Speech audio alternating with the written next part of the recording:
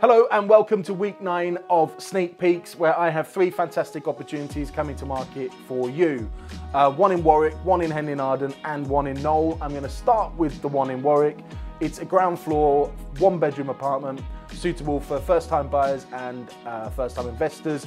You may well catch this one on Landlord Club. If, you are, if you're a landlord or want to be a landlord and aren't a member of the Landlord Club, that is a whole separate topic, and I'd love you to drop me a message. Um, this particular one bed apartment is on the popular Birch Meadow Close.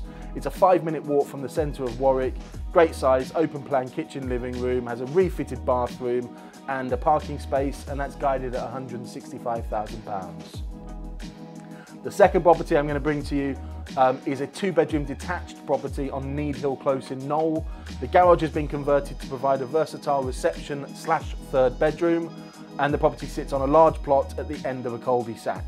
Um, it's close to obviously Bentley Heath and Knowle and sits within the school catchment of uh, Arden Academy.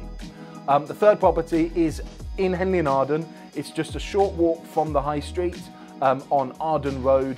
It's set over three floors uh, with an open plan lounge, diner and modern kitchen to the ground floor. Over recent or in recent years, it's been refurbished, so offers a refitted kitchen and bathrooms and is absolutely ready to move into. Um, the garden is south facing, there's driveway parking and it's close to local schools. Um, if you're interested in Henley in Arden, this is absolutely one not to miss and will be uh, launched with a price of offers in excess of £425,000.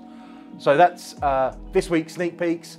Uh, hope the weekend was absolutely rammed full of viewings. The weather was beautiful. I'm expecting lots of activity this week.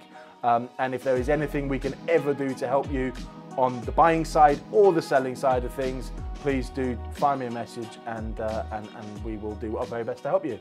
Thank you.